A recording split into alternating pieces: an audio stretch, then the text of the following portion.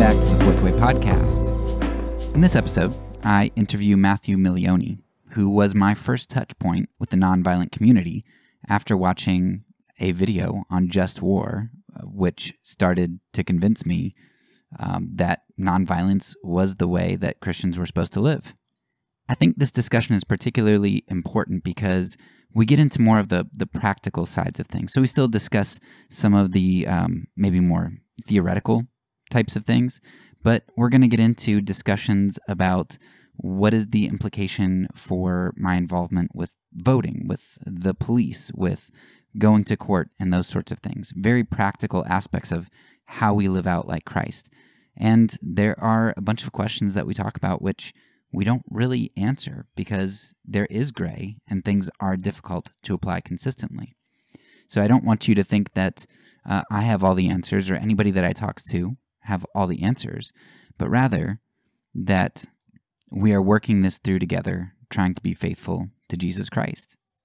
And that's really where we're going to end this episode at, with Jesus Christ being the focal point. And that's what I love about so much of the nonviolent community, because it feels like you know, everybody would say that, all Christians would say that, but the nonviolent community, it seems to me, really does put Christ at the center and says, I know Jesus and I know that he's real and I know that what he commands is right. And I'm going to interpret everything through the lens of Christ rather than Christ through the lens of everything else. So I hope you enjoy this discussion and I hope it's helpful and doesn't leave you with too many questions, but enough to keep you humble. you know, for me, going through coming to pacifism, nonviolence was um, it was very clear once once I started going down that road, and just I mean, the cumulative case is is right very strong. Um, but like I told you, a lot of what what made me receptive to that was the politics that was going on in my mm-hmm. community. Mm-hmm.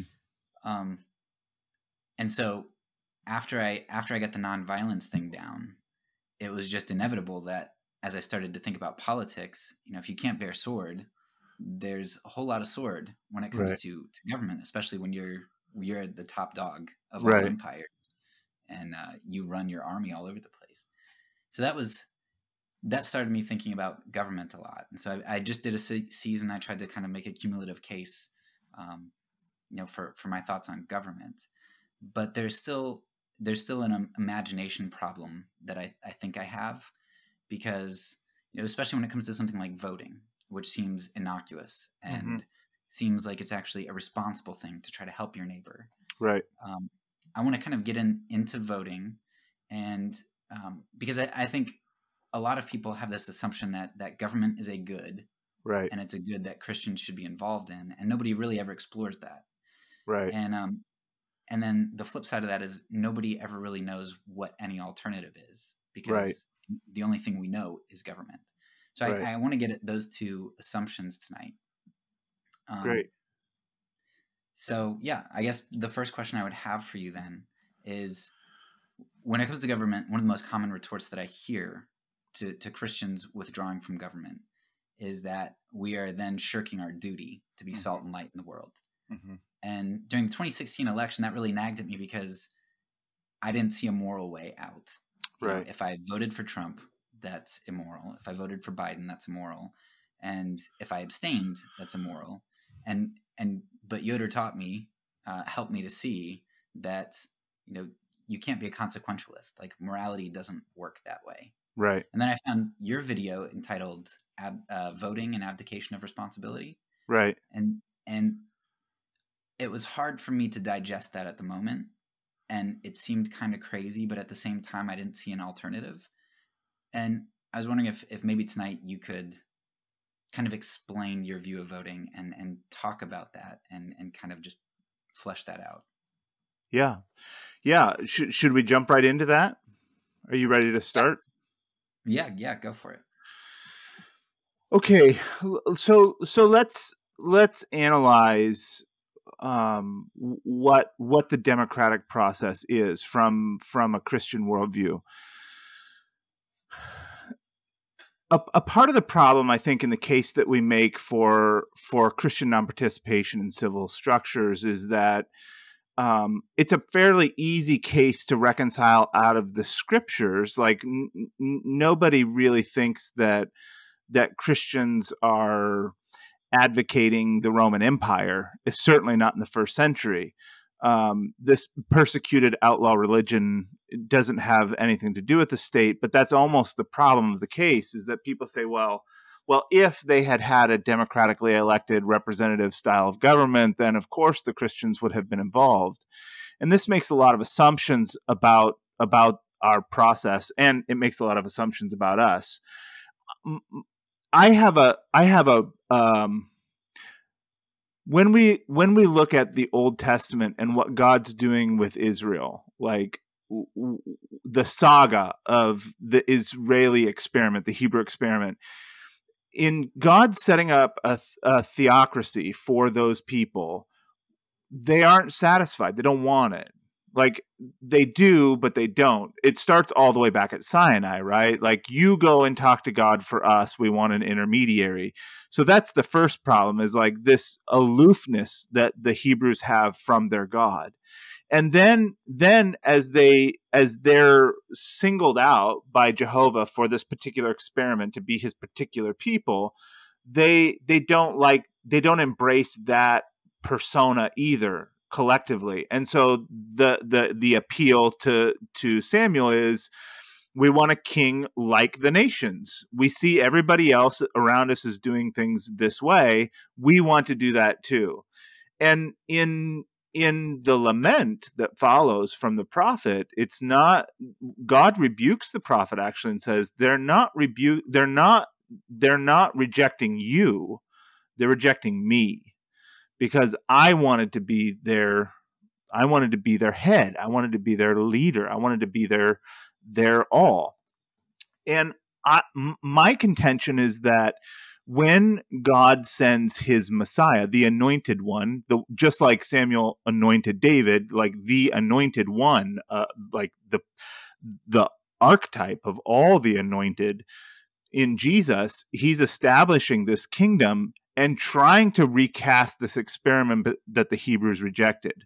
Like, how much more explicit can I make it? Jehovah says, I'm sending you my son to be your king to establish my nation on the earth and it's even a grander experiment than happened with the hebrews because it's not it's not its locus isn't geopolitical it's it's not stuck in palestine it's it's pan geographic pan chronological pan ethnic and so so this ought to be our root identity as jesus' disciples my connection with uh with an African Christian or a Chinese Christian is more comprehensive than my connection with a non Christian American. But that's not sensible. We have a lot of. I was on a podcast this morning talking about these same issues, and I think that it's we have to admit that it's a big ask, right? Like we're asking people to transcend the thing that humanity has built out of itself, these tribes and nations and identifications along these kinds of lines. It's a big ask to to look at the Christian community and say, let's transcend who we are as a nation. Let's transcend our nativity. Let's transcend the things that our eyes see that we're connected to in this specific locale. And let's get out of that and see the world the way that God does from a much bigger perspective. And I think that's where a lot of people miss it. So now let's let's zoom in from that very high order, let's zoom in and look at the democratic experience. What are we doing when we cast a vote? See, the the appeal has been for a long time. Like there's there's a certain mythology. Uh, I'm sorry for those notifications that keep popping up, but uh, there's a certain mythology of of, and we should expect this, right? Any any um, any nation's going to build a sense of self and there's going to be a, a, um, a, mythological framework of who we are and what we're doing in the world. This happens from you know you have small animist tribes who have religious ceremonies that you know uh, from their perspective are the reason the sun comes up or the reason the rains come or whatever the case they're saving the world like literally preserving the world through their through their story of who they are and how they interact and and it's no different with the west. Like we have this sense of self this sense of identity of who and what we are who we are and what we're doing in the world. And and and all of that runs in our political experiment in the US because I think we distinguish ourselves as Americans in this political experiment of, of American representative democracy. And and to be quite f- fair, I mean there are some beautiful and novel things about the experiment as far as um, as as as far as men's political structures go. But but if we zoom in and analyze, when I cast a vote, what am I doing? Um, my thoughts were shaped quite a bit by Lysander Spooner, who wrote a small treatise called um, uh, The Constitution of No Authority. Um, and Lysander was uh, uh, a critic of the Constitution on a few premises uh, he's an early anarchist, and what he says is that why are we why are we subject to something a that doesn't it isn't representative. It, he said even then in the 1800s it doesn't represent women it doesn't represent children it doesn't re- represent african americans it doesn't represent a whole bunch of people so it's not representative in the first place. And second of all if it has value and merit let people choose to be subject to it instead of being forced to be subject to it by the accident of birth so that's his basic rationale. But when he examines the democratic process, not just its like conscription by birth, but what we're doing is compelling our neighbors to follow our will. And and he says the fact that someone votes is no proof of his um, endorsement of the system. Most people vote because it's either rule or be ruled. And in that case, uh, he, he likens it to, to a soldier on a battlefield. He says to presume that there's animosity between the two men shooting at each other is not it's not right. All kinds of people shooting at each other have no ill will towards each other personally. They just are representatives of their country of their respective countries, and and because of their situation, they find that either they have to shoot at them and kill the person in front of them, or be killed by the person in front of them and the democratic process runs very much the same way from Lysander's perspective that when I cast a vote, I'm it's it's ultimately defensive. It's me protecting my own interests in a in a gamble to try to get my way instead of having others will imposed upon me. Well, that begs the question: Why are we willing to force our will on our neighbors? So I'm always what what's not a hard sell generally for people is that when you look like when you look at like a monstrosity of an election like Trump or Hillary, which is nobody's happy about, and I mean everybody's holding their nose regardless of which side uh, of the aisle they're on in that election when when you look at that, it's it's an easy sell to to to talk to the Christian community and say, "Hey, maybe we shouldn't be involved in this." And they'll say, "Yeah, okay." And you can you can even get some people to agree that federal elections with its uh, you know different appeals, maybe it's abortion, maybe it's militarism, maybe it's colonial expansion, maybe it's economic oppression, whatever the case may be, a sympathetic conscience can rationalize that national elections are probably not a good thing but where where it's hard to get people to concede is in local matters and in moral matters or social matters. And this is the place where the christian community really feels obligated like you said like i, I feel like it's i have a moral obligation for the good of my neighbor whether that whether my i consider my neighbor um, the the African American kid down the street who's likely to be bullied by the police or an unborn person in my neighbor's womb like I feel constrained to vote for these things that may have a moral impact in the world. And and the problem with those notions is that let's take the most benign example we can. Let's talk about let's talk about uh, my local city wants to wants to levy a bond for a library or a firehouse, and I think the uncritical position says, well, just decide if you want a library or firehouse in your neighborhood and say yes or no. What's the big deal? This is how we make decisions in a representative democracy. But when I analyze that action, what I'm really saying because our structure runs on forced taxation. What I'm really saying, if I vote yes for a library bond, is that I'm willing to conscript the guns of government to force up to 49% of my neighbors to pay for something that they may not want to pay for. That's really when you boil it down what my actions are. And and Lysander says at the bottom of every ballot is a bullet like what we're doing when we vote when we use the democratic process is we're conscripting the guns of government to force and compel those who may not disagree with us to do what our will is is electing and that's a problem from from the perspective of a christian conscience yeah so i'd like you to speak to um when i talk with my wife about this so she she's on board with with nonviolence like right. makes tons of sense to her, right? Um, at, at, this point, anyway.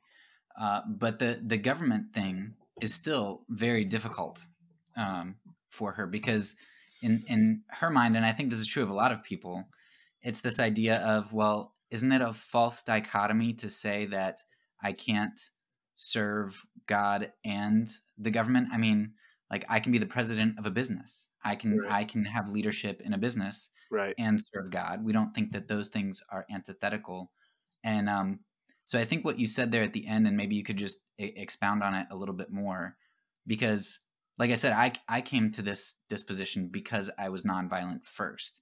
Right. But there are a lot of people who aren't nonviolent first, and right. I don't see how to really argue governments against government so well because they'll just say, "Well, I can be for the kingdom and try to help my neighbor through legislation. If you don't see a bullet behind the ballot, how is there a way to go about discussing government before or, or, maybe you don't eh, or maybe you don't care about a bullet being in the ballot but but if you do yeah it's the, the question is how does government operate like government is a coercive structure and i think that leonard verduin's work in anatomy of a hybrid is fantastic to this end that there there are two ways that God is operating in the world. One, uh, it's uh, they're actually not original to Verduin, but he uses them. One is conserving grace, and that's what keeps the world running, and one is redeeming grace, and that's the church calling people into a new order. And the conserving grace is is how we're reading Romans 13, where we actually we actually so I I consider myself a Christian anarchist, but that position is relative to me and my people. It's relative to the church. I don't actually think that anarchy is a good way to run the world. I think that that that structures that God ordains, whether it's Nero or Pharaoh or Pinochet or Saddam Hussein or Kim Jong Un or whoever it may be, like the order that runs in the world is doing the same thing in every time and every place. And and that's worth some analysis right? Because it's a it's a big claim to make. How is how is bush's america and un's north korea doing the same thing? Well in either respective location you can't steal from the market. You can't indiscriminately kill your neighbor. You can't walk around doing whatever you want. There's an order in place in the world whether you live in north korea or america. Now some of those orders are relatively better than others in comparison with one another, but they all have the same ultimate function. And that ultimate function is to keep men from descending into anarchy, to being ruled by whoever is the strongest or whoever, like consolidating power into warlord chieftains where the world can't operate or hold itself together. That's the function of state.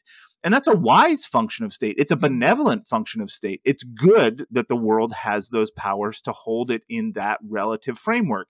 And and that that I think that's lost on a lot of people. And where where I would what I would say is that let's look at Romans 13. And I feel like sadly a lot of non-resistant Christians are kind of gun shy from Romans 13, but it's really it's really a powerful dynamic chapter for for embracing this notion of two kingdoms. And not not least of which you know the pronouns in in in the text are are us they focused. Like they bear not the sword in vain i.e not us. We don't bear the sword they do.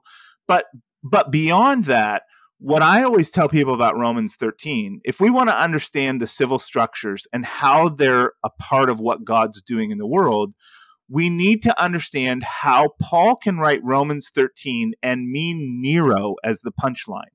Because that's the essential task of any textual analysis of Romans 13. You have to get this to square with Paul and the nascent church's experience with the Roman Empire with Nero at the head. So what's being written about these power structures directly applies to Nero. So if you can find out how this makes sense in Paul's framework for Nero to be the one that he's talking about that's not a terror good to good works, that's good for us, that's God's ordained minister. If you can figure out how to apply that to Nero, then we can figure out how this applies across time and space. And and the way it applies is exactly in this way. There's an order that's being preserved. And this is really, I think, a genius, a stroke of genius from God, because I think these structures no no matter where or when they are they have the same function and they have the same motivations. So analyze the motivation. If you're the governing authority your interest is to take to fleece the people. You're like you're like the shepherd of the flock of that society. So the the shepherd you know he wants the fleece from the sheep but he wants to keep the sheep alive because the fleece is the product that he wants well, any any civil structure wants taxation, and in order to have taxation, in order to prosper as the ruling class of any social order, you need a stable environment that can produce things so that you can pull your piece off. This is what every state structure has done for all of time. And that is essentially a coercive structure. Like by definition, it's a coercive structure.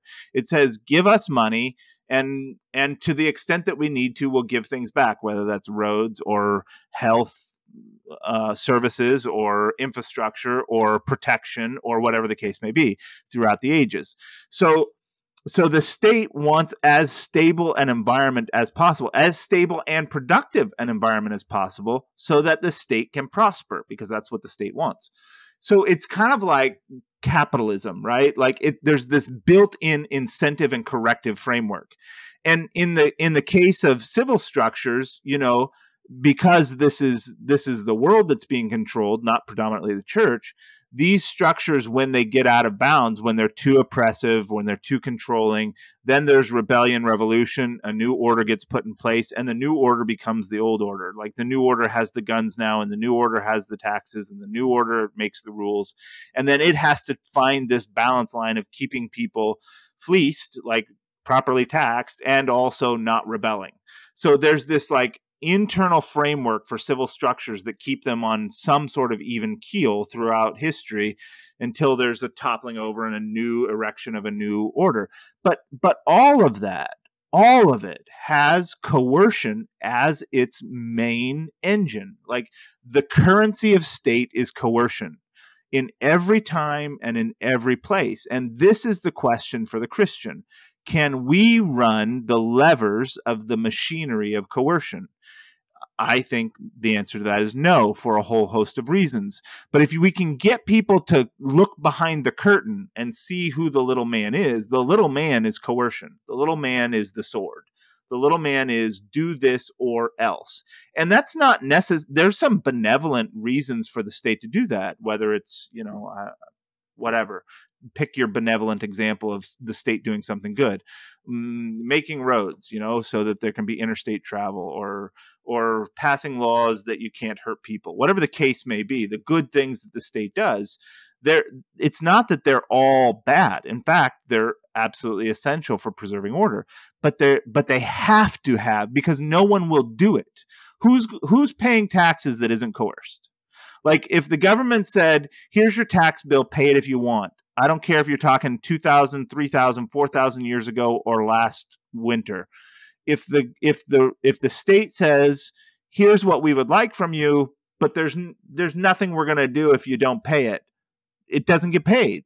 Like money and coercion is what makes the state go round. And when we when we engage with that structure, when we pull its levers, and this is why it's different than running a business.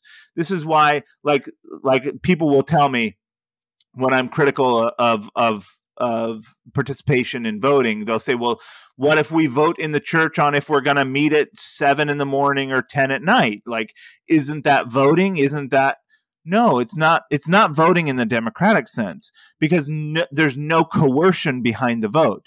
Like if the church votes to meet at ten in the morning on Friday, and you don't want to meet at ten in the morning on Friday, don't come. Like there's no teeth to the vote. There's no, when I cast that vote, I'm not forcing anyone to do anything.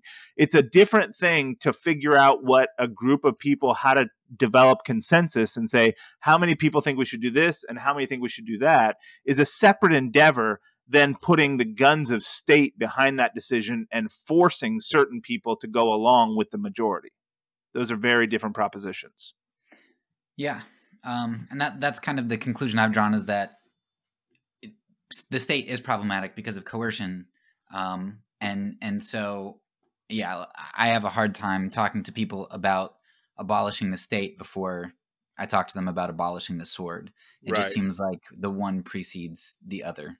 Right. Um, the other the other interesting case to be made when we talk about these issues is is those those moral social issues whether whether we're talking about a, a, abortion or or the defense of marriage or whatever particular social moral cause someone wants to take up and uh let's let's DOMA was the big one during the Bush years, right? Like the Defense of Marriage Act and whether or not homosexual ma- sexual marriage was going to be recognized within the U.S. Um, civil process and it was a it was a darling cause. Uh, in fact, the homosexual agenda, quote unquote, goes all the way back to the institution of the moral majority in the 80s. Like that was a primary rationale for the moral majority under Pat Robertson and those guys that started that up, and stopping the homosexual agenda.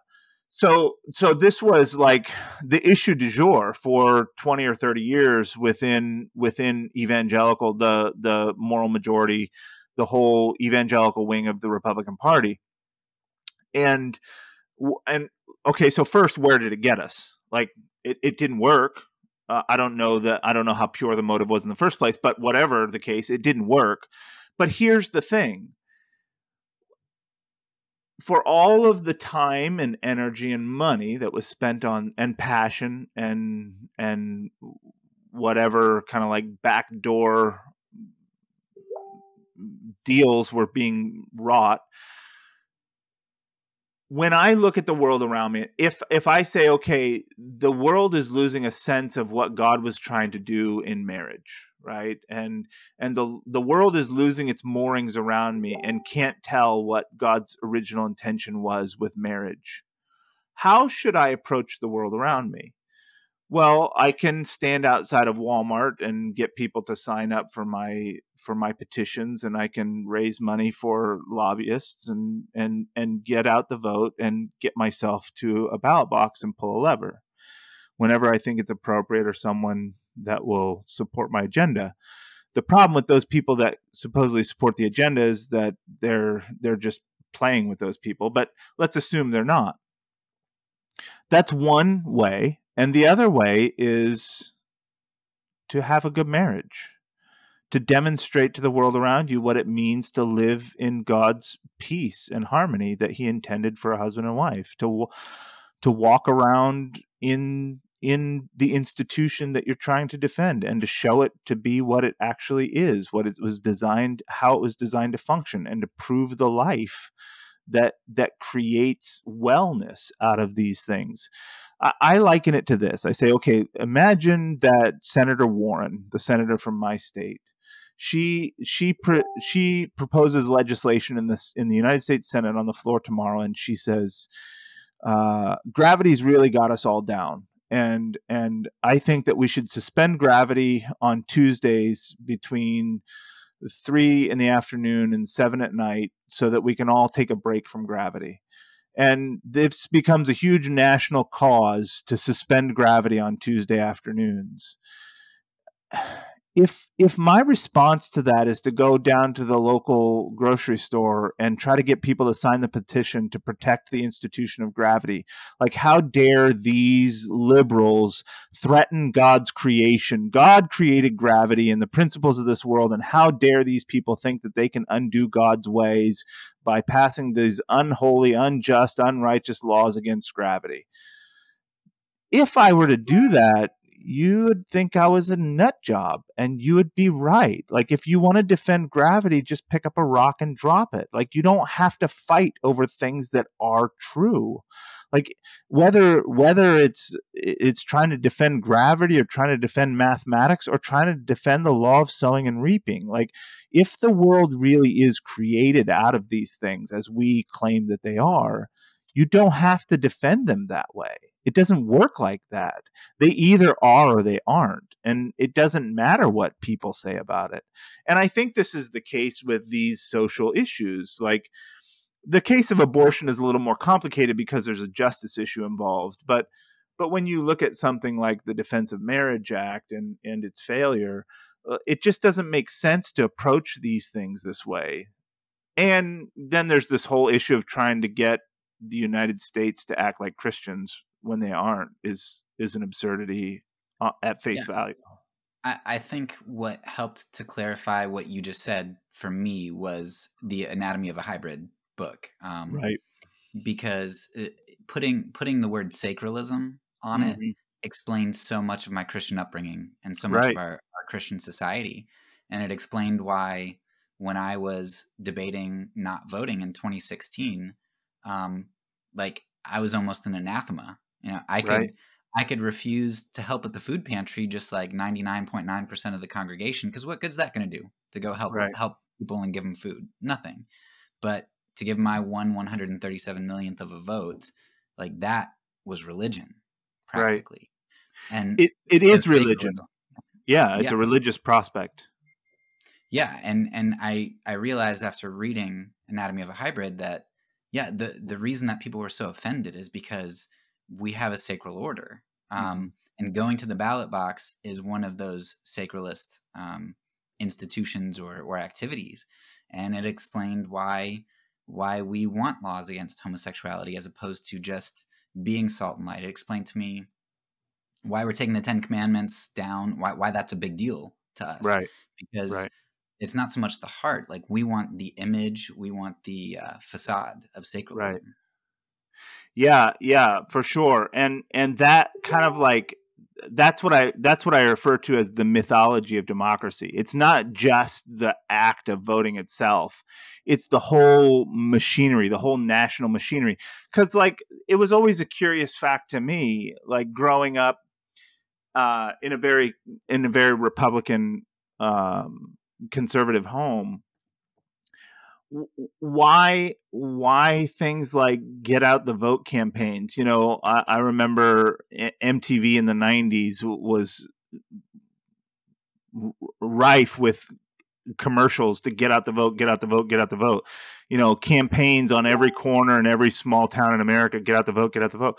Well if if if the case is that this is how we're deciding to run our lives why why should you want your political opponents to vote but they do. Like if you listen to presidents, if you listen to elected officials, if you listen to to the propaganda that goes around with uh, the election cycle, what, whether it's at the local or, or or or national level, it's not about the outcomes; it's about the process. That's what that's what's trying to be entrenched. I mean, I'm not saying that the outcomes people are indifferent to the outcomes. I'm just saying that when you listen to people talk about the democratic process, it's sacred in and of itself. Like it doesn't matter who you vote for, just vote. It like that's what the whole like the whole thing in the in the 2016 election was like, well just write somebody in but get out and vote. Well, what does it matter if I write in whoever? What if I, write in my spouse or Mickey Mouse or whatever? People don't care. Just vote. You have to vote. You're an American. You have to vote. And the other part of the the other part of the mantra that's always kind of been a thorn in my side is that if you don't vote, you don't get to complain. And I'm always like, no, it's exactly the opposite.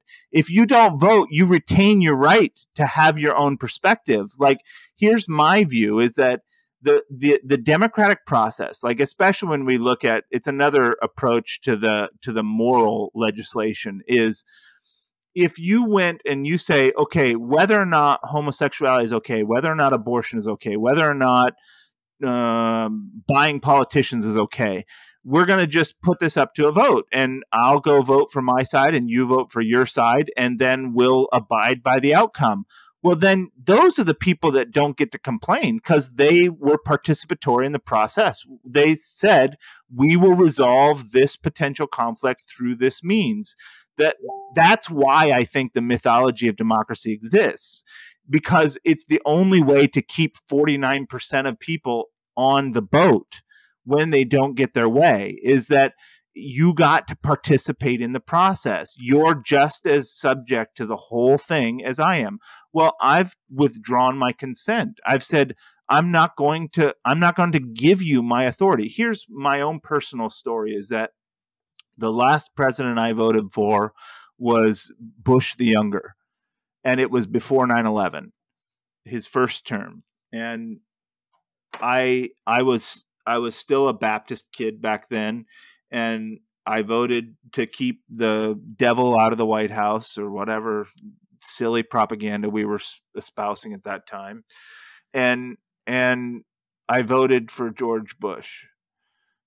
9/11 happened and I had been kind of radicalized in my Christianity just before 9/11 happened. And I know I was I was a young person. I know if I hadn't been become a disciple uh, a committed somebody committed to the kingdom of God I would have joined the military after 9/11 it's just kind of the family I came from and the vein that I was in and my my paradigm and worldview. So I was personally spared through my own convictions but but more than that when that happened and the ensuing conflicts in both Iraq and Afghanistan, and the bodies began to pile up by the thousands and hundreds of thousands, and the atrocities raged on, and we watched in horror as the neo crusades of Western evangelical Christianity fought it out to the death with Eastern Islam. I felt responsible. I felt guilty because I had consented my authority for him to be the one that pulled that trigger. And and every time I watched a body count, I couldn't help but remember my name in consent to this power. And it it shook me to my core. I felt personally responsible for the death that was happening on the other side of the world. And if I wasn't sure before, I was by then. I will never lend my consent to these men. I will never give up my personal authority.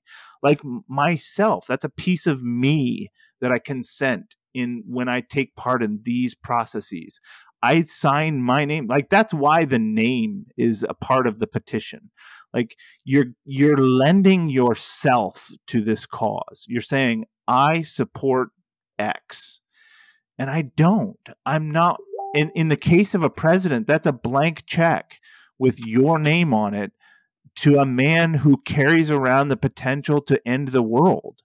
And that's when when you get away from the propaganda and the narrative and the sacredness of those traditions and just look at it for what it is from the Christian worldview, I just don't, it doesn't make any sense. It's not the way I feel like, I feel like our people, the Christians in America, are every, in every way, exactly where the Hebrews were saying, make us like the nations around us. We want what they have. We don't want you. We want what they have. That's the consequence. Yeah, um, it's a it's a bit inappropriate. I don't know if you've seen it, but uh, have you ever seen George Carlin's skit on uh, on not voting? I'm sure I have. I don't recall yeah. it right immediately, but I'm yeah, sure I have. definitely an atheist, uh, but he he's so insightful um, about a lot of these things, and he has he has a little sketch on on not voting that it, uh, like I said, is inappropriate at places, but it's, it's definitely insightful. Hmm. Um, So when you talk about participation as kind of appeasing, so you know, just just get out and vote, mm-hmm. and and they want you to participate to kind of validate the system. Right. Uh, one of the the stories that I, I remember you talking about in your video was that in the early 70s, in response to to protesters, that um, government started to to debate lowering the voting age. Right. Now you had said in there, and and I didn't know how to find this. I couldn't verify it, but you had said in there that as part of the debate, there they were talking about how like it was intentional in order to make the youth feel like they had a voice to kind right. of well protests.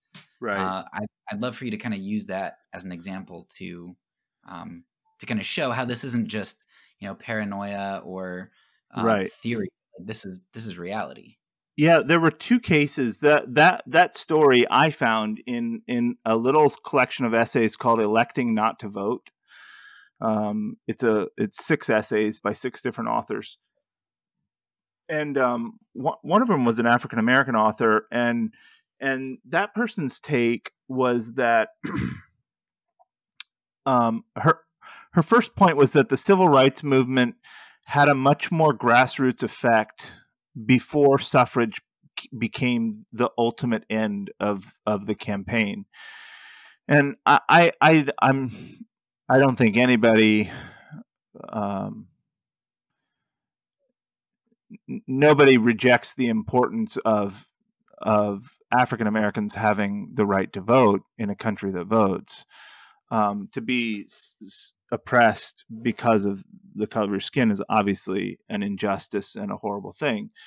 But but there were a lot of efforts happening at like opening up lunch counters or desegregating water fountains that had a really dynamic effect on local environments for the people that were living in there when those were the focus of of the outpouring of activism in the civil rights community and and and some people this author included looked at at the focus on suffrage as venting the steam of that movement and especially when compared with the relative injustice that continued to happen after the civil rights kind of I mean, there's a lot of it's a complicated analysis. I mean, Mr. King is shot and Kennedys are shot and all these horrible things happen at the close of that movement. And so what's what's attributed to what is just guesswork. But but the fact remains that that the oppression of the African American community continues in the South for many, many years after the Civil Rights Act is passed. So but the the fervor around activism over segregation seems to die off when the Civil Rights Act is passed there's and then and then they go on to talk about this issue of the protest movement in America and how the youth especially were pouring into the streets. I mean, the 60s was such a tumultuous time. It's before my time, but it's it's probably my the most fascinating decade in the 20th century to me. I'm just I, I, it must have just felt like the world was about to explode or burn to the ground. I mean, you have all those assassinations, the president's dead, Mr. Ken, Mr. King was shot, Bobby gets shot. The there's race riots, Kent State. Like it's just it looks like the world is exploding at that time, and and and the race riots that happen and the anti-war protests that happen uh, are a major problem for the powers that be. The presidential administration is lamenting what to do with them. Even the whole war on drugs happens in large part in response to how to minimize that population. But on the other side of, of the legislative agenda was the senator who introduces the bill to reduce the voting age to 18, which passes. And I don't remember the details or the quotes, um, but you can find it in Electing Not to Vote um, the rationale is we need to give these young people a voice in the process. And when the voting age changes, there's a decrease in the protest movement, there's a decrease in the riot activity. And it does look like it gave people a feeling of, of involvement, a feeling of participation but what we what it seems like at least from my analysis that it's not until the the anti-war march on Washington that really breaks the back of the Vietnam War. When you have a million people show up in DC and say you can't do this in our name anymore, is finally kind of like the death knell of of the Vietnam War. And and it didn't come through voting. It, it it again came through people showing up and not giving their consent to the powers that be to continue prosecuting a war that no one agreed with was right. So that that's how that narrative runs at least and I think there's some some good reason to accept that premise. Yeah, um, I actually just uh, you know just finished a, a, series on nonviolent action too, which was which was helpful for me to see things play out in the real world and how how nonviolence can be an effective uh, an effective uh, influencer. Um, and right. it also strikes me the thing that you mentioned about the you know protests actually being the thing that that transformed.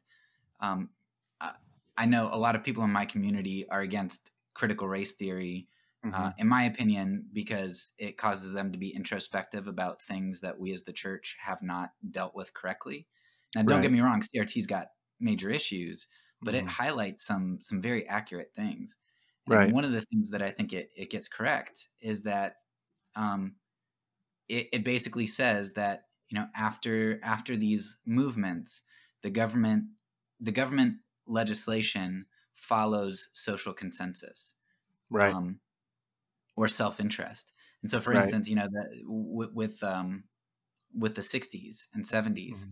well, right after African Americans really get access to the vote, um, you you basically start to get the the prison system that mm-hmm. just ramps up, and we disenfranchise right. tons of of black voters. And so, the civil rights movement, the nonviolent protests they transformed the hearts of society and then the government stamps some legislation on it and takes credit for it right and um, they kind of co-opt what what activists are actually doing with their feet they co-opt right. it to make themselves look good and to make people think that their votes were actually what caused the good to come about right yeah and i think i, I think another more recent example is is derek chauvin conviction uh, I mean, I think that there was a sigh of relief that finally it looked like someone was someone with a badge was going to be held accountable for one of these actions. But it's hard not to recognize at the same time that if there hadn't been both very well documented evidence, video evidence, and a large nationwide protest movement, I don't think for a second that conviction would have happened. I don't think anybody who's being honest or has been watching would think that that conviction would have happened because there's been dozens of cases in the last decade that are the same way that there where there were no convictions. So I think that's another example of how people using their feet and making cl- declarative statements about what's right and wrong are, are moving the needle and changing the situation for people.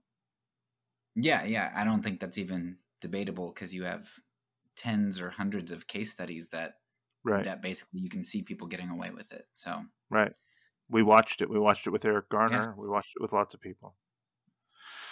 So so, so that that that makes another point about what really is effective in the world, and it's interesting. You know, I, I always uh, laugh a little bit when people talk about non-resistance as some kind of pie in the sky idealism, because I think I think voting is pie in the sky idealism. To think that you're going to go pull a lever in a box as one of hundreds of millions of people and change the world is silly to me.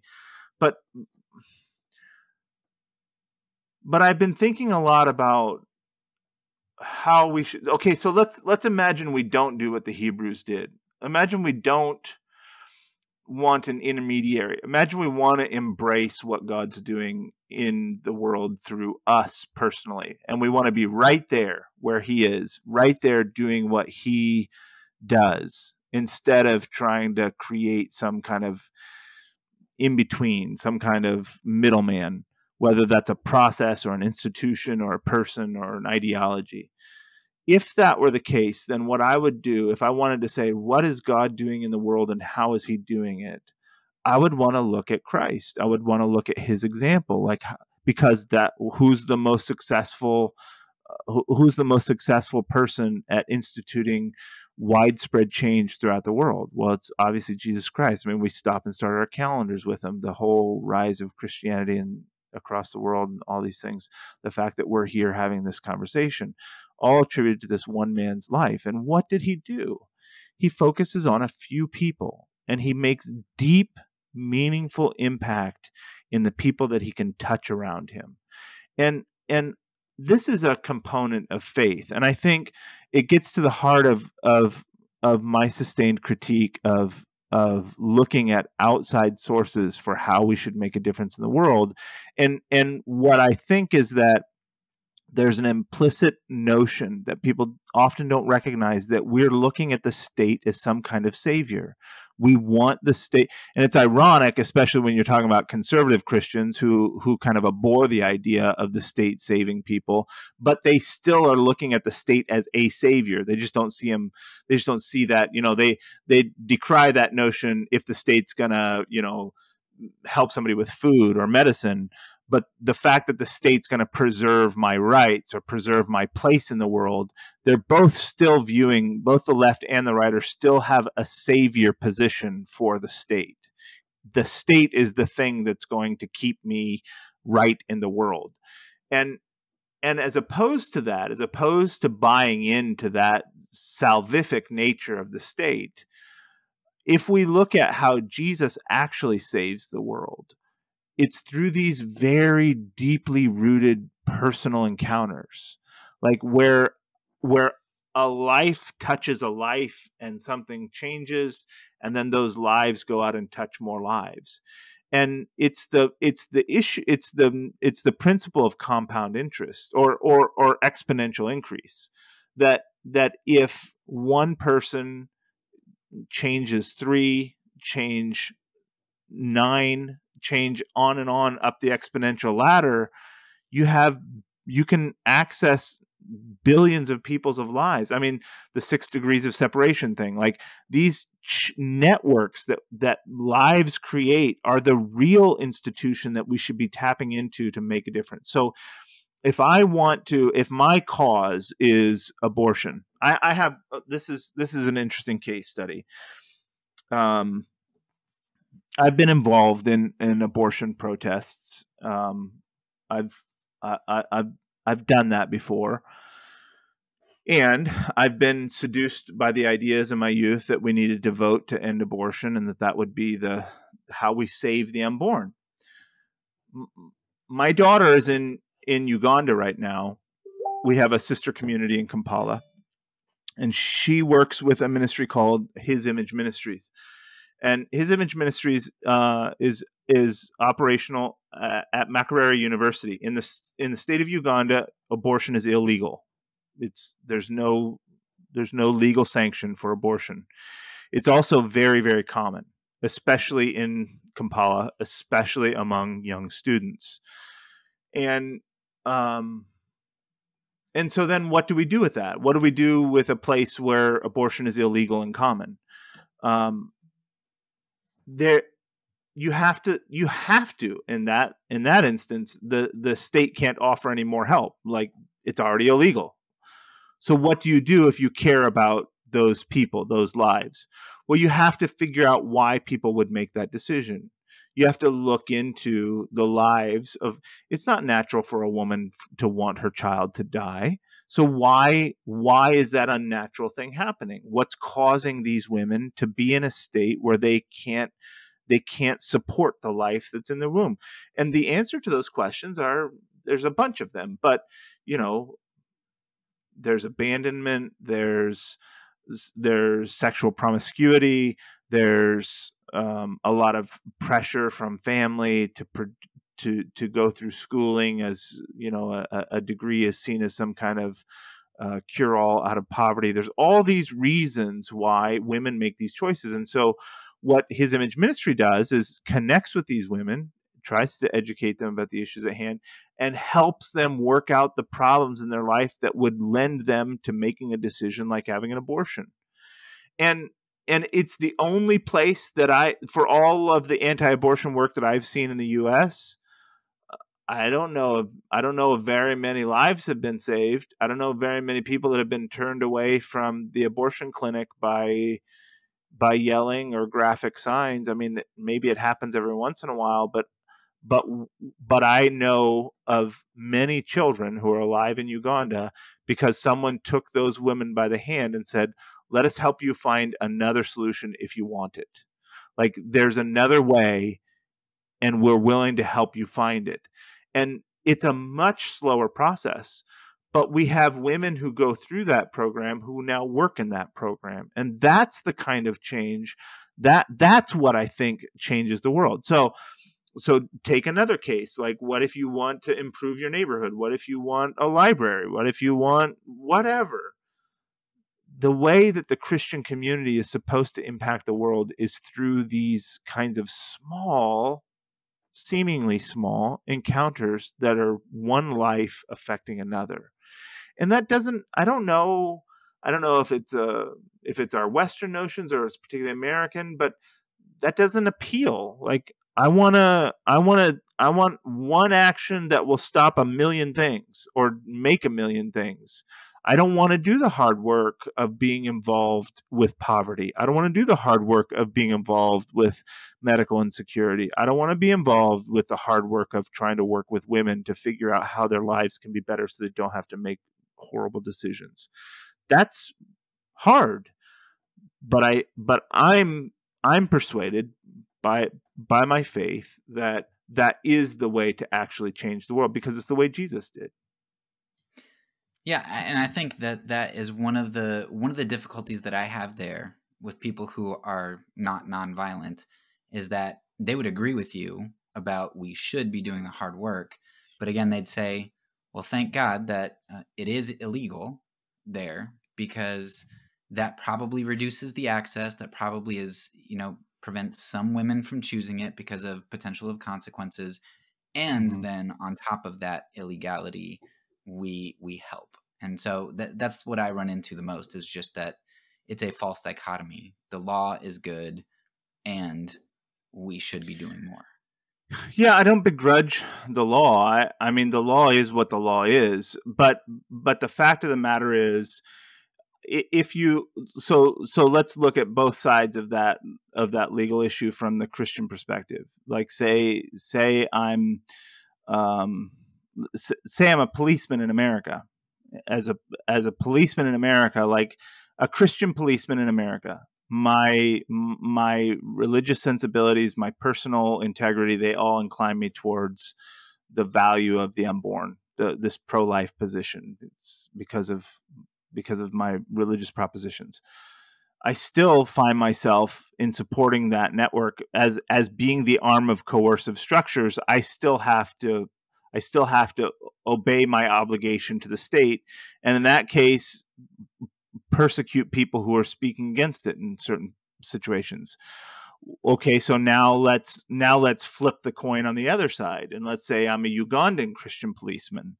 Now I'm rounding up women who have chosen to to engage in abortion, who uh, let's just think of the, some of the women that that that Chloe's worked with, uh, a 15 year old girl who was r- raped by her family and left on her own that was looking for an abortion.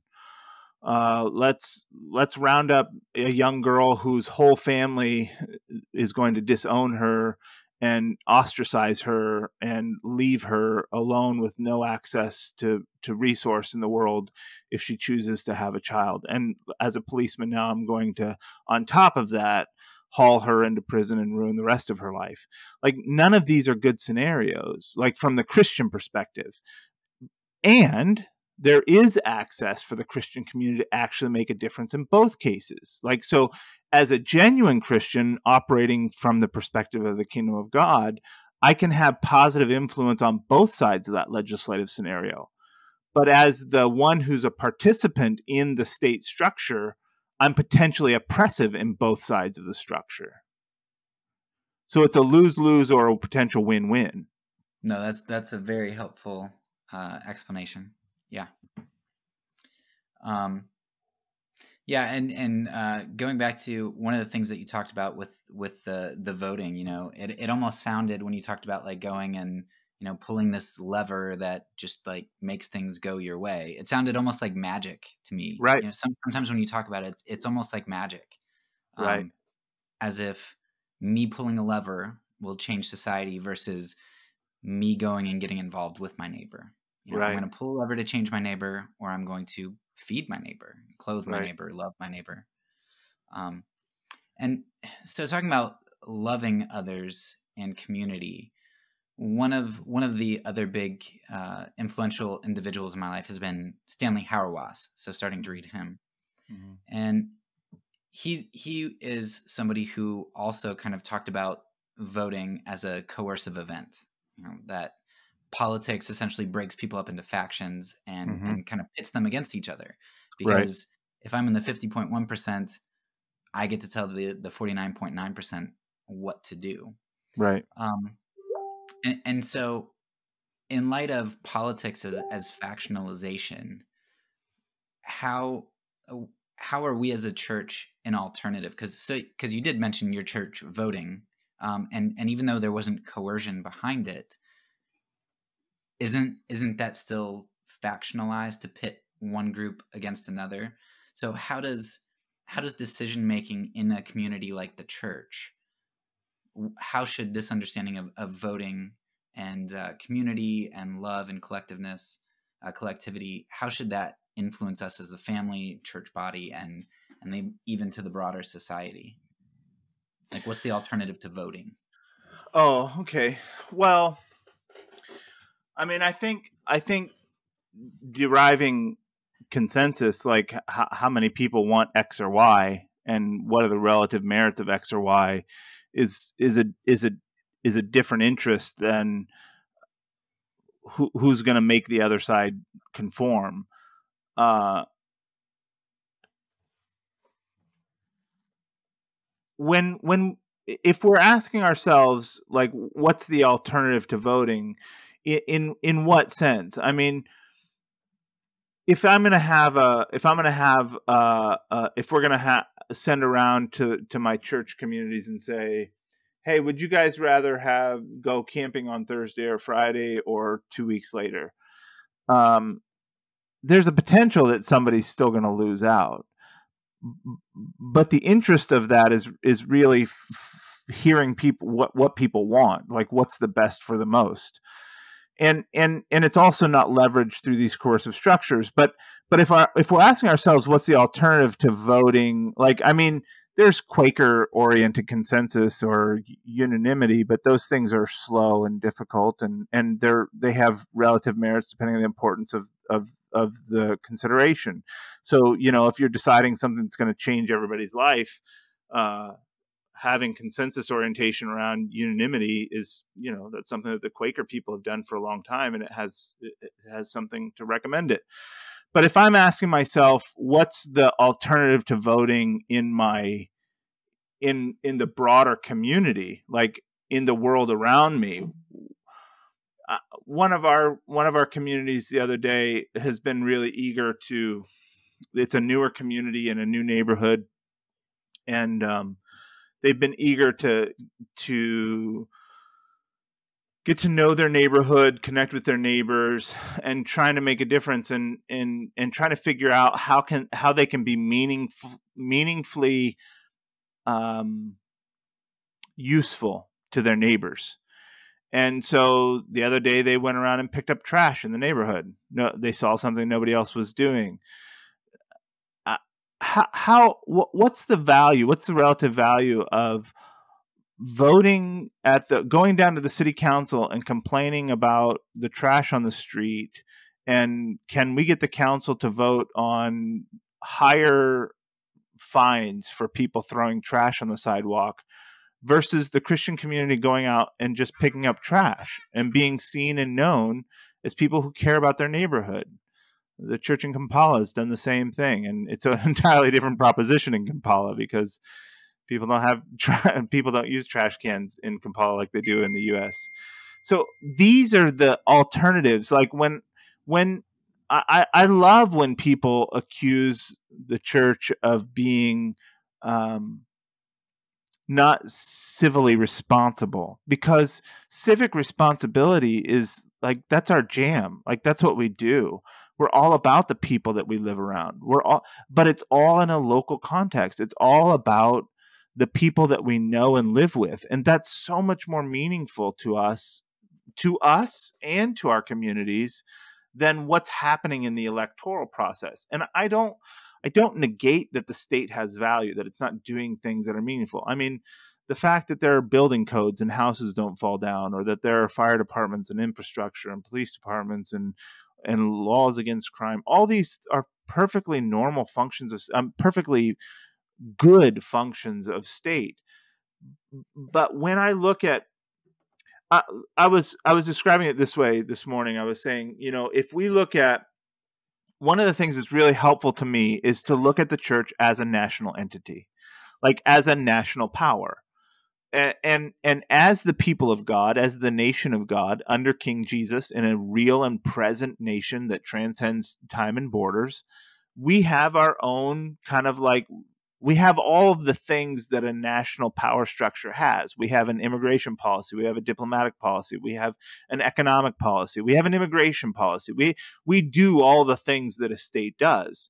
And when you look at international relations, there's like this there's this place where nations touch and they have either common interests or divided interests and how they navigate those common and divided interests is is interesting. Like, okay, so America with her European allies. Well, that was really important stuff in the in the early part of the 20th century, and they had a lot of common interests in the early part of the 20th century.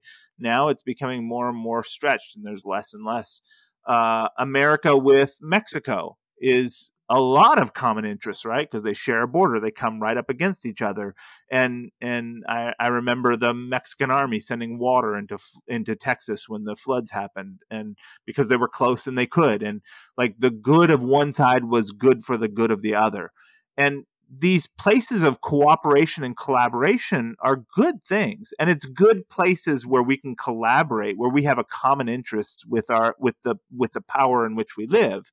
And so there are ways and places where we can where we can come together with with other international powers and have common interests and common goals like the alleviation of human suffering. Like that's something that that that sometimes states become involved in you know whether that's okay right now whether it's the like look at the vaccination campaigns across america to try to to stop covid. Like that's a place where where the state is trying to preserve human well-being. Now the st- state doesn't always try to preserve human well-being.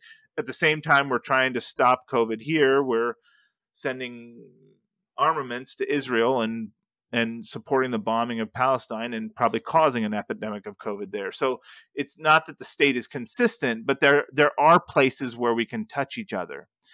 If your uh, your question is, what do we do in lieu of voting? Well, I think we don't look at voting as the ultimate end all be all of civil responsibility. Civil responsibility has to do with how am I a meaningful member of the community where I live and I think I think voting is the least important of those things. It's the least meaningful of those ways. So let me, let me ask you because there were a number of things that you said there that I think uh, converge. No, no, it's okay. Uh, it it converges into uh, some other big like application questions that mm-hmm. that I've really struggled with. Um, so you mentioned that like let's say the police force is right. a good and laws are are good, even though you don't think it should be wielded by by our hands. Right. Um, and and I think a lot of Christians that I know, the reason that they would pursue legislation against those those mothers, for as sad as their stories may be, would be justice. And by justice, of course, American Christians almost always mean the negative justice to offenders, and right. as opposed to the positive justice of helping the poor and stuff like that. Right. So we we have this lopsided view of what justice is. Nevertheless, okay, if you're saying that the sword is bad, if you're saying that uh, Christians shouldn't participate in government, Um, and then you say that police are good and laws are good. I really struggle with knowing the the suing somebody seems a little bit more clear, and that would mm-hmm. be hard. And maybe you could tell tell the story, you know, about mm-hmm. the dentist thing. Right. But then when when it gets into something like you know the sexual abuse stuff in the church, right? Do I, do I not tell the police that somebody's sexually abused or I saw a murder? Do I not go to the police and say, "Hey, I saw somebody killed"? Um, somebody breaks into my house. Do I call the police because I know that they wield the sword? mm-hmm. and they're going to do it at my behest if I if I call them. Right. How do I how do I square not voting because of sword versus calling the police because of sword? Right. Yeah, it's a great question. Um, th- there's a there's a there's a few ways to approach that, and I think that um, David Bercot does it well in the just war debate that we had here, and and he says that the the powers that be, the civil structure, and especially the sort of state, is intended to keep people in line. It's to control the passions of men. And it ought not to be that those are Christians whose passions are being controlled by the state. In other words, the the sword of the state is designed or ordained to control people who will not be controlled by Christ. So it ought not to be that the policeman patrols the neighborhood to keep Christians from killing or stealing or destroying. That that's not we've as as we exist as disciples, we're not involved in those actions. We have we have a we've transcended that in Christ to have a higher order. So Jesus says, don't kill. He tells us, don't be angry. Like the world says, don't commit adultery. Jesus tells us, don't, don't lust. Like the, the order that we're being called to live under doesn't need the wrath of the state to keep our passions in control. We have another mechanism for controlling ourselves. Now, when people don't do that, like in the case of sexual abuse in the church, they fall back under the domain of the state as transgressors against the state's just laws. So, so if I'm asking myself, okay, let's consider two different examples. Uh, there's a fantastic book by the by the name of uh, Dial 911. Um, it's written by Dave Jackson, and he was a part of uh, the the uh, was it Jesus People? No, it wasn't Jesus People. Reba Place in Evanston, Illinois, in the 70s and 80s. And uh, Evanston, Illinois, was a very, very high crime area, and there was um, at its peak, I think Reba Place had about 300 people living within a few blocks of each other, and they even had a common purse. It was a very interesting community, and it's worth reading up on some of the materials. I think I think they still have a community there, but I think the tone of it's changed some since the 70s and 80s. But because they were in a very high crime area, the questions of non resistance were very practical ones. Like they were being mugged and robbed, and people were breaking into their houses, and things were happening. But they also believed that the that the penal system was punitive in in and and destructive. So it was harming their communities. Like people being locked up and put into prison was detrimental to their community. It was hurting people. And so they were at a real a real dilemma. And, the dilemma is expressed really well in this way. if I if a man breaks into my house and ties up my wife and steals my things and leaves, it's all well and good for me to say, in Jesus' name, I forgive him. I'm, I'm not going to seek wrath. I'm not going to try to use retribution. I don't need justice. I don't need my things more than I need peace with my neighbor. And I'm not going to I'm not going to subject him to the dangers of the penal system. However, when that same man breaks into my neighbor's house tomorrow and ties up his wife and steals his things, and he's not a Christian, am I morally responsible now because I didn't give the police the information who did have a proper domain to try to stop this from happening to my neighbor? And that's as succinct a way I think as you can sum up the moral obligations of dealing with with the sword of the state. and and and it's complicated. Like there's not an easy resolution to that when your own conviction is to love your enemy the one who would do you harm and take from you but you feel responsible for for subjecting your neighborhood and your community to people who are dangerous. The the and they talk about how they came to their decision in regards to that process and how essentially if i can paraphrase the way that that community answered that dilemma is that they got to know the police department they got to know people involved in the justice system and law enforcement and they made a determination as a community that the juvenile system was redemptive that as they as they understood the people that were working with juveniles in juvenile detention, there were programs in place to try to get people off of drugs and addiction, to try to teach them life skills, and to turn them out of the juvenile system with an attempt to make their lives better than worse. But the adult penal system was so destructive and so mm, intrinsically oppressive and dangerous and and making people's lives worse not better that if they felt like it was a young person who was involved in crime against their communities, they would call the police, and if it was an adult, they wouldn't. Now, I don't know that that's the right answer. I don't know that it's the right answer for all places, but it's it's very heartening to watch a community try to reason their way through that moral dilemma in a way that's that's sensitive to everybody's to everybody's needs that's really trying to respond to what's the best for all people involved. They also got involved a lot in like victim reconciliation and putting people together you know victims and perpetrators and doing you know mediation and reconciliation. So there was it wasn't a one pronged approach.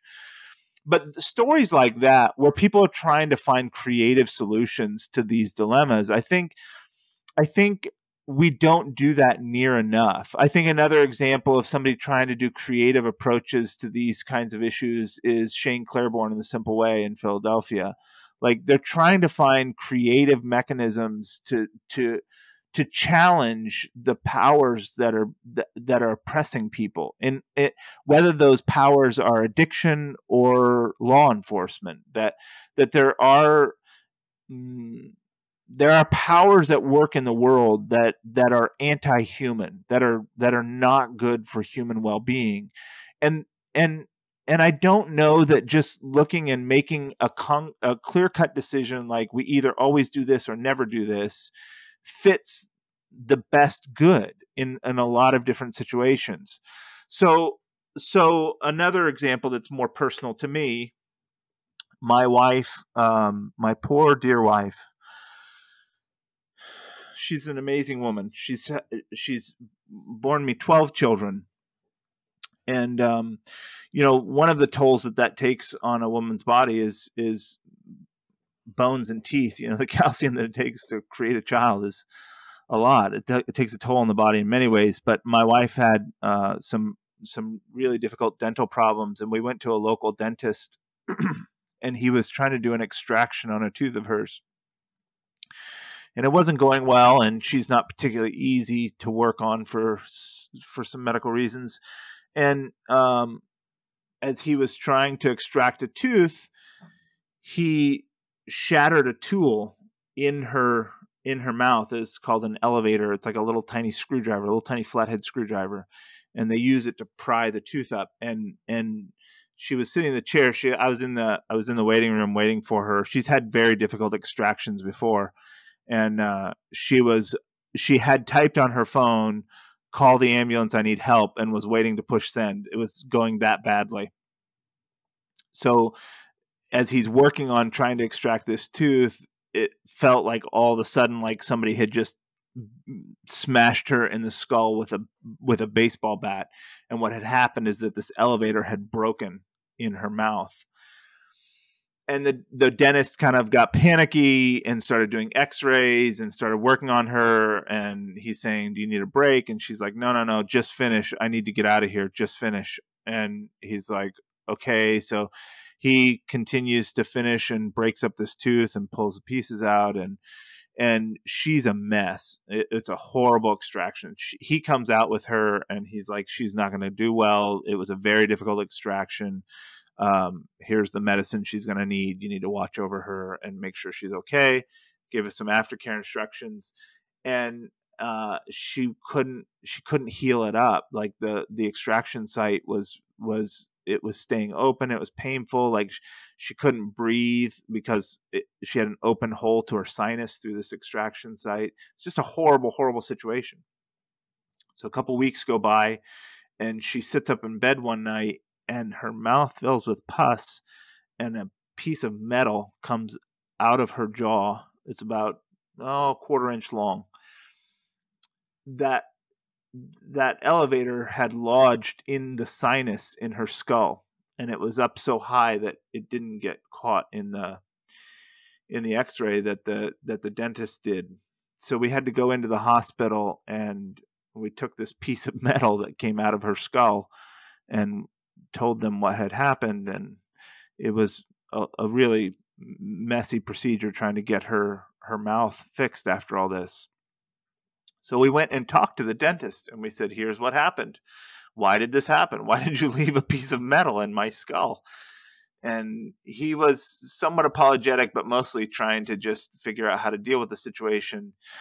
And we didn't know what to do from that point. Like we had incurred a lot of medical expense from from having to fix this problem that he he he'd made but the thing that weighed on us, you know, this is the kind of stuff that malpractice insurance exists for, and people get doctors and dentists get sued for this kind of stuff all the time, and we have quite a few medical people in our community here, and you know, it's the stuff of legend. Like this is what people make million dollar lawsuits against practitioners for, and we knew that we didn't we didn't want to do that, but the but the rub was this, like if he's not practicing dentistry in a way that doesn't hurt people and he's not being careful, he's not informing people when something tragic like this happens, this is dangerous. It's it's dangerous to whoever else is going into his office next. So how do we resolve like I don't want to I don't I don't want to try to leverage this for my own good or extract something out of him or get, you know, our pound of flesh for hurting us we want to we want to forgive we want to be kind and gracious but we also don't want other people to get hurt so what do you do our resolution was there are there are licensing boards that the state uses for these mechanisms. And so what we did is we we let the licensure board in our area know what had happened. They did an interview with erica and examined the case and we left it in their hands. Like that's your job to figure out what should happen with this.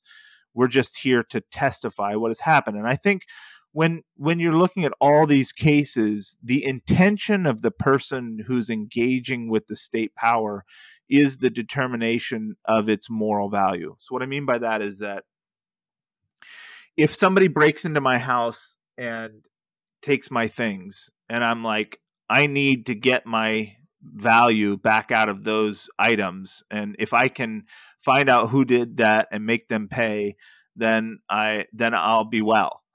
Uh, that's what I want. So I'm going to call the police and chase him down and try to try to extract at least some punishment for my own well-being, if not if not my my value.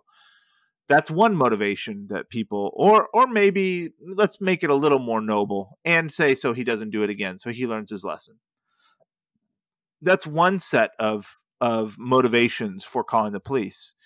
It's an entirely different motivation, I think, to be to say there's something wrong that's happened in this community, and there's a state, stru- there's a civil structure that's designed to to have per, this is their prerogative. It's their job to to take care of people, to make sure that the community is well, that cr- crime doesn't go rampant and take over people's lives. And I'm I'm alerting them so because it's their domain of authority to witness what's happened so that they can decide what's best to do. That's their job, it's their domain. That's I think a very different motivation. So could I could I summarize and you tell me if this this is kind of what you're saying? Sure. Um, because I what I imagine the pushback would be is well when I go to vote for president you know, I'm not voting to have them stop abortion and legislate against people and bear the sword. I'm just saying, I'm saying this is who is is going to be in charge and i'm just electing the person who i think is more moral. And i could see somebody saying that with the police like well yeah you're you're telling the police but you're basically informing the sword. And so right. i guess what what maybe the distinction would be is you know if if somebody steals something from me maybe i go to the police and i say hey look here is there's somebody who stole something from me here's what he looked like, here's what happened. Uh, so in case somebody else does report this and press charges, um, you you have more information. But I'm not going to press charges. This is this is your domain. Right. Whereas if I go to the police for something like sexual abuse of a child or murder, that's not. I don't know about sexual abuse of a child, but I would imagine that I don't have to press charges on that. The state no. would take that into their right. Into their hands, and they would pursue that themselves. Right. So by me going to the authorities and simply informing them and leaving it in their hands, that's not me choosing to wield the sword or pursue the sword. That's me just informing the appropriate authorities um, to do with as they wish. Right, and I think that I think that the distinction is to, to, to think of it like in a graphic example. It's the difference between being on a witness stand or being in a jury box like am i trying to am i trying to be the the one who's activating justice or am i just the one who's telling what happened? And those are different places to sit. They're not the same it's not the same um, it's not the same calculus to examine what's happening in those two different places. Yeah and I, and voting seems more like being in the jury box because right. the candidates tell you exactly right. what they're going to do, and you're voting for a commander in chief whose right. job it is to be over the the sword. Yeah, exactly. And the other the other thing when like when we look at at uh, a, a, some violent action or or sexual abuse or something like that, whether it's within the Christian community or outside of it, those are those are places like when when Roman says that they bear not the sword in vain is God's minister to reward good and punish evil. Like that's the function that those that those powers are ordained for. Like they have a legitimate right within that structure to be to be doing those things. And so, like when we look at a, a, problem that's happened, especially within the Anabaptist communities, is when there's been things like sexual abuse or even domestic abuse, the church has said, well, we're a separate power and we should we should just deal with this with ourselves in some certain horrible cases. And and they have been exactly that, horrible cases. They've been perpetuating abuse and and m- minimizing the experience of victims and just making a mess of the world in many different ways. And the proper view is to say if if you have like the proper view of the church in one of these cases, say a man within our community or a woman commits some uh, atrocious action like this, is to say, you by your actions have made yourself subject to the law. You need to deal with the law. There's two things you need to deal with. You need to deal with your your spiritual state in regards to the church, but you can't even approach that issue until you properly repent. And to repent means to bring light repent means to make things right that were done wrong. Repent means to turn away from the actions that you pursued that were that were sinful. And in order to repent, you need to put yourself under the subjection of the authority that you transgressed. So if you transgressed the if you transgress a child, you're subject to the state for what you did to that child. If you hurt a person, you're subject to the state for the damage that you did. You have to give an account to that proper authority in order to put yourself in a place where you can realign yourself with this with the spiritual interests of the church. That's how the church should be looking at these kinds of issues. So it's not like we transcend them whether or not we transgress them. It's that we transcend them because our actions are above the need for their justice. But if we fall below that line of discipleship and fall back into the old man, back into the world, back into sin, back into defilement, then we put ourselves by our actions back under the place where we need the state's power to coerce and control us. So you have to deal with that state power when you are under their domain, their proper domain. That's how I rationalize those things. Okay. Yeah, and and there are some cases where it's even simpler because you know when I was a, a teacher, um, I was a mandatory reporter, and so right. the state basically has a law that says if I know that there's abuse going on, I have Your to give them that right. information. Yeah. Right. So I've got I've got two questions left, uh, and it's kind of going to switch up a little bit because it's it's not so much about government, but it, it's kind of all right. If I if I take the implications of hierarchy, coercion, all this stuff in regard to the state, how do I maintain consistency when I apply it elsewhere? Mm-hmm. And so one of the the things that I have struggled with is you know, in my community, spanking was very normal. I was mm-hmm. spanked growing up. I didn't view it as something abusive. Um, but at the same time, thinking about nonviolence, thinking about coercion, and also just, I mean, I don't know what was in my parents' hearts when they spanked, but right. I know that there are times when there there is anger in me that I have to control and don't mm-hmm. control sometimes.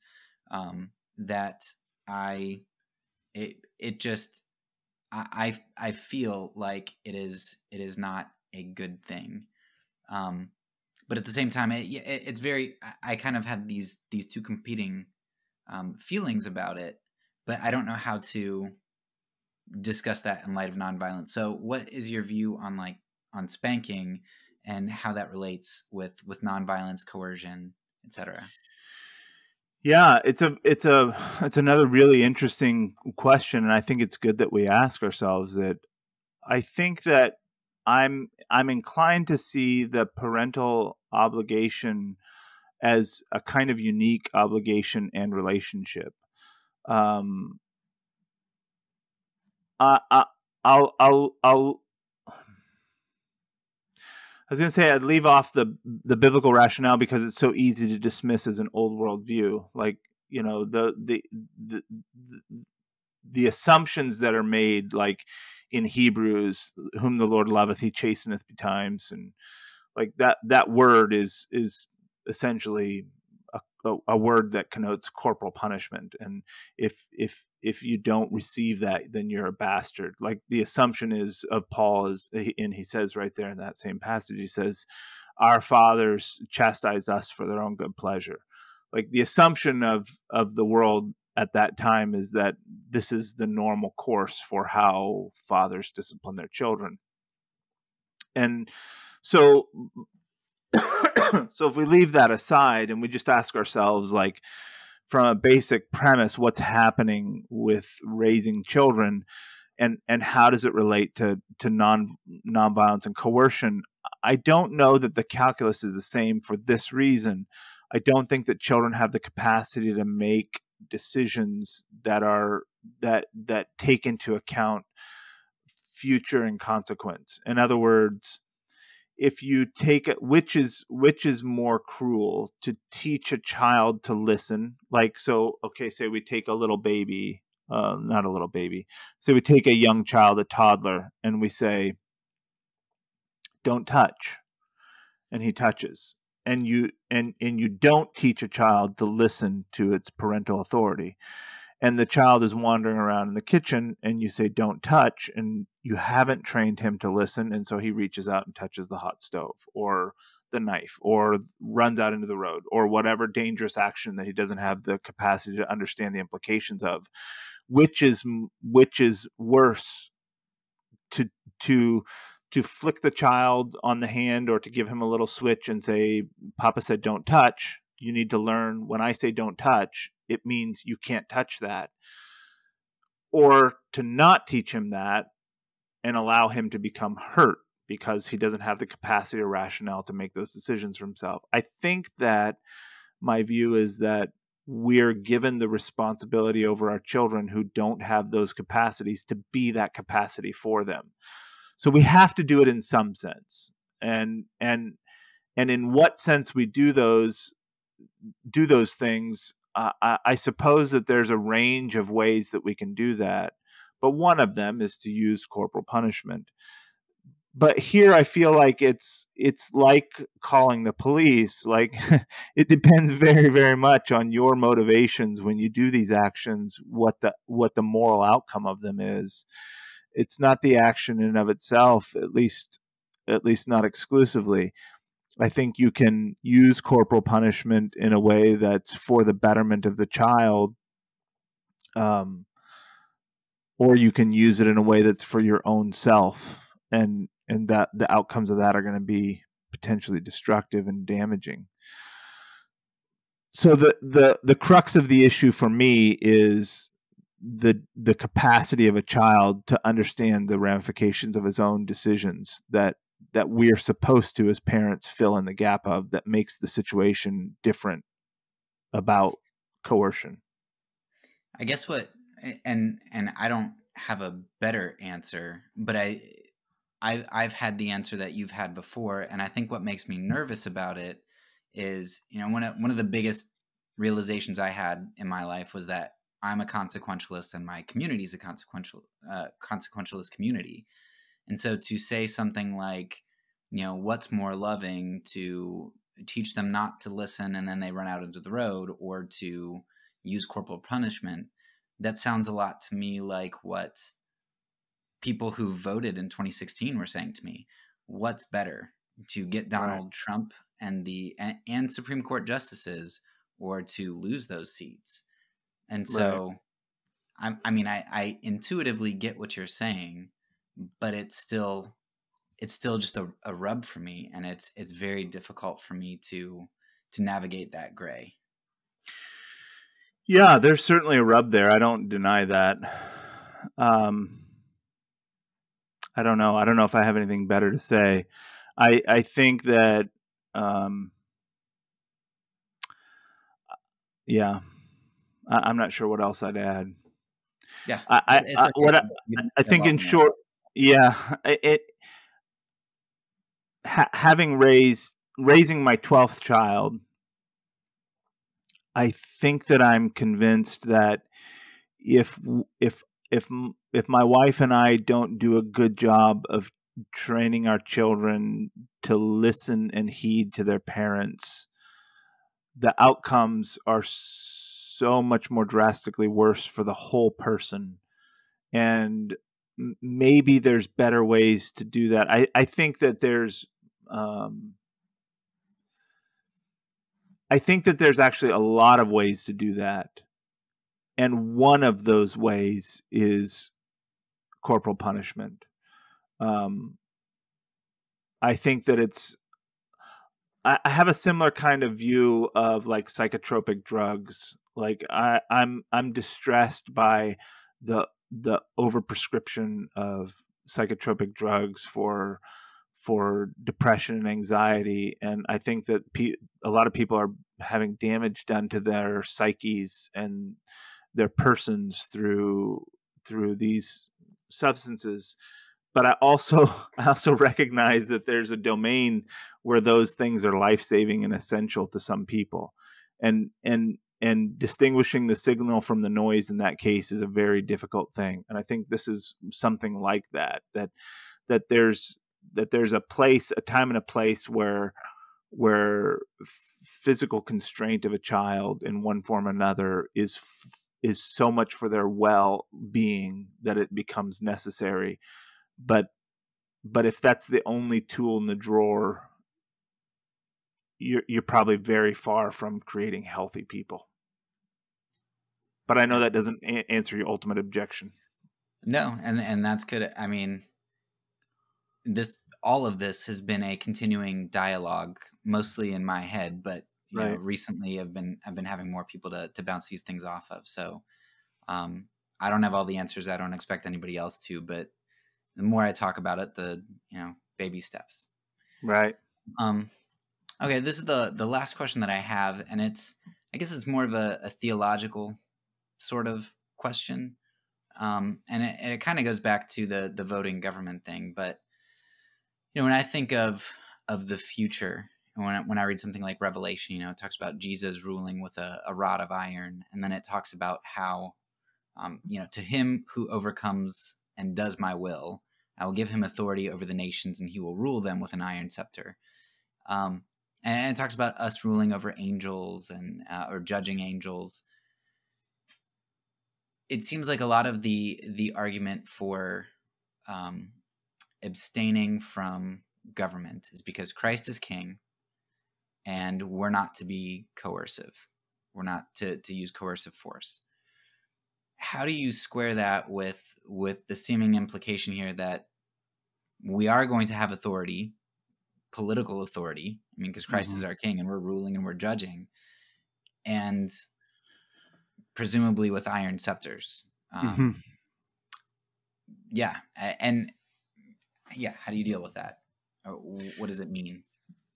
Well, there's a couple. There's a couple ways that I that I approach that issue. Um,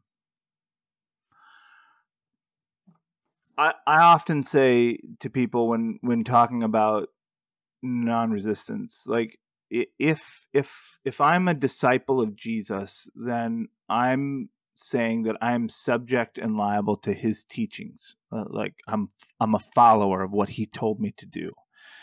And I said, you know, if Jesus had come with a sword in both hands, hacking the heads off of everyone who didn't do what he said, and also told me to love my enemies, uh, as a disciple of Jesus, I'm still subject to his teaching. Now, fortunately, mercifully, that's not what the case was. He was he was so gentle and so kind. But the question is what did he tell us to do? And i feel like that's that's where i live and that's what i'm interested in here and now. And there's so many parts to the eschaton and what god's intentions are in the future that are are so way out of my league i don't know how to comprehend them I, I don't know what it means for us to be like angels and to not marry or be given in marriage i don't know what the new heavens and the earth are about. I don't know all kinds of things about the eschaton. There are some beautiful things about the eschaton, and there's some wonderful hopes about the eschaton, but but I don't understand so very many things that it's just not a place that I live. It's it's not the place that I focus on how, how to be. There are things that I that I leave open ended for for trusting God's benevolence and grace and and who I know him to be as my father. But I I also recognize that that's probably unsatisfactory for a lot of people. I, I think that God, you know, when when I look at how God operates in the world, especially as we consider there's there's kind of like I, I'm I, I appreciate Mr. Boyd's writing some because I'm partial to open theism in particular, but open theism starts to go down a track at a certain point where it's it feels like uh, uh, a very creative retelling of the Old Testament, you know, where God didn't really mean for the death of the Amalekites for every man, woman, and child to happen. Like there's this revisionist view of the Old Testament where we're trying to kind of take the teeth out of the problem passages of the Old Testament with Jehovah so that we can so that we can find shelter to to be the pacifist Christians that we feel like Jesus wants us to be. And I don't feel like those things are necessary. I think that I mean, I, am not trying to get into a theodicy or deal with the Old Testament violence in in this short time, but I think that there's something about the way that God works in the world that if He's the prime mover and cause for all things, He's ultimately He has some something to do with life and death in and of itself, and and I'm willing to leave that in His hands as the Creator who cares more about his creation than I do. Uh, like there's a certain place where I rest and I say, because I know Christ and because I know the Father, because of the the things that that that He's done in my life, I have an implicit trust of Him, and I'm willing to just implicitly trust Him for the places where I don't I don't make good sense of what He's doing in the past or in the future.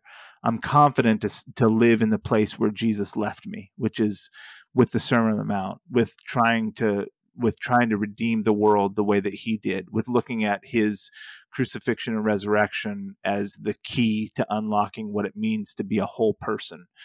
And and and I'm willing to do that because it's creating wholeness in my life, in my family, in my community, in my churches.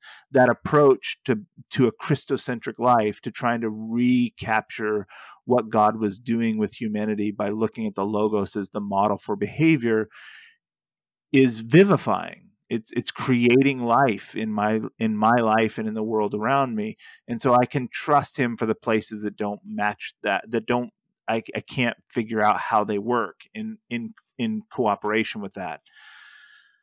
So so at the end of the day, like another way to to say it is that I often wonder, uh, like philosophically, about the fall.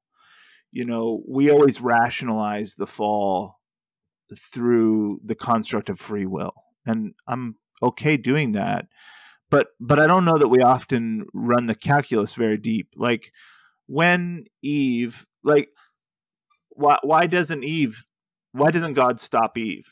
Like if the fall, if the fall is the precipitator for all the evil in the world, which you know according to Christian theology it is. It's the it's the place where all evil comes from. Like in that in that selection of the forbidden fruit is all of the war, murder, bloodshed, abuse, trauma, rape, violence, pestilence, famine, plague, and disease that the world is going to experience until the second advent. All in one singular action. It's wrapped up in that moment. And and and it begs the question, why does God watch it happen? Why, why does he allow that to transpire? And and I don't know all the answer to that. What what what I've become unsatisfied with is the idea that that somehow that's a preservation of free will. Well, the devil could speak to her and it didn't negate her free will. So why doesn't God come and advocate against that counsel and say, "Hey, hey, hey, hey, whoa, look, you can do that if you want, but can we talk about it?" Like do you understand? Let me just give you a glimpse of what you're what you're inviting into humanity, but he doesn't for for for all the text knows he just watches it happen. And and that's like the root of the theodicy right? Like that's where the origin of all these things that that transpire happen. And and there are some approaches that i that i can take to that. I think open theism actually helps answer some of those questions. But but i also think that that it, a part of that analysis is that there are certain things that transpire in the world that can't happen in the pre-fall world like like a savior like a healer like a redeemer. There's certain things that god is that that are not observable or possible to apprehend in a world without consequence and sin it's a short uh, it doesn't fill all the gaps but it starts us towards the answer. And and and i move from there and i say but i know christ. I know him and i know what he did and i know when i when i hear him and when i when i read him and when i study him it moves me at the deepest level of being and i'm and i and i can't conclude he's anything but good. And and other than me. And i want to be like him and i want to understand him and i want to act like him. I want to move like him. I want to think like him. I want to talk like him. And and and because of that f- fixation on him I'm I'm learning who the Father is, like what his interest in the world and his creation is, and how much he cares, and how much he's moved by our infirmities and our weaknesses and our struggles, and how much he cares about me and my tiny, tiny little life. And and after I come through that experiential funnel, I say I say I can understand by faith when the apostle says, the sufferings of this life are not to be compared which the, with the glory which shall be revealed in the sons of God. And I see, I was at a funeral this morning for a baby. I was speaking at a funeral for a baby who died last weekend in one of our one of our families lost a, a child. And that's there's nothing good about that. except for everything around it. Like the death, I hate. I hate the loss of life. And I think God hates the loss of life. I think God hates death. I think death is God's enemy. But at that funeral, when you watch a community come together and you watch people grieve together and you watch people love one another and you see how comfort comes into pain and you see potential for hope and you see something coming out the other side that doesn't get broken through death, then you can kind of start to grasp at this idea that God's doing more through our experiences with these ugly things than could have been done without them. That's how I approach it. Yeah. I think that that will be a good place to end. Um, you know, I know for me, so I I attended uh, Christian school since like second grade, Christian family. Pretty much everybody in my family's a Christian. Christian Bible Belt of of Pennsylvania, you know, Lancaster County area, mm-hmm. and um, it it wasn't until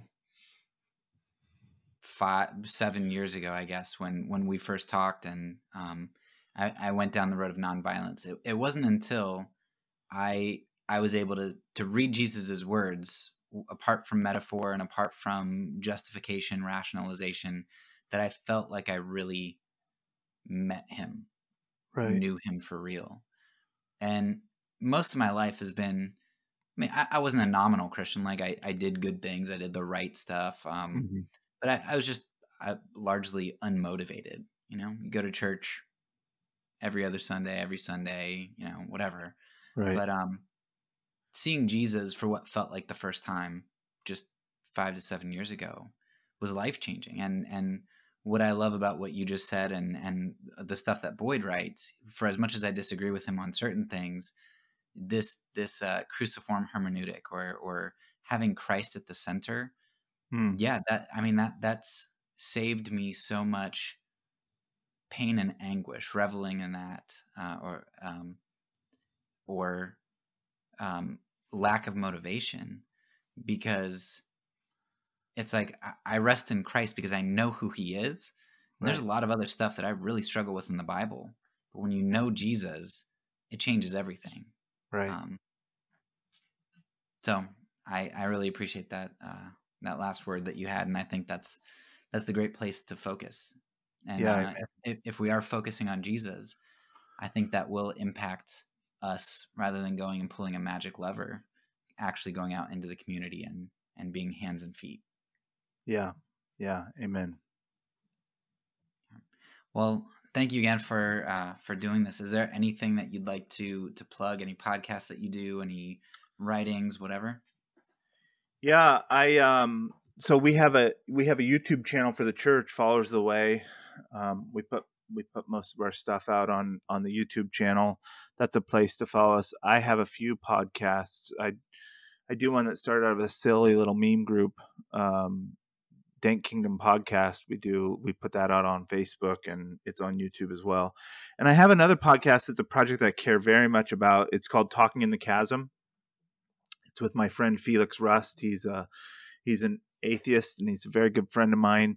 Um, we sit down and we talk about difficult things. Uh, we've been on hiatus through the COVID scenario because he works with vulnerable populations of people, and so until we were both vaccinated. We couldn't really be together, but we just started meeting up again. And so the second season of Talking in the Chasm will be coming out over the next few weeks. And I'm excited. Um, I'm excited and scared. We want to talk about homosexuality and gender. We want to talk about some difficult theological issues. And the main point to Talking in the Chasm is to say that people can come from very different places and have some very strong disagreements and also be very kind and loving to each other. And i think we need we need more of that in the world. So those are right. places where people can catch some of the other things that we're doing. Okay. I'll make sure to link those. Um, and thank you again. I appreciate it. You're very welcome. Thank you for having me. That's all for now. So peace and because i'm a pacifist when i say it i mean it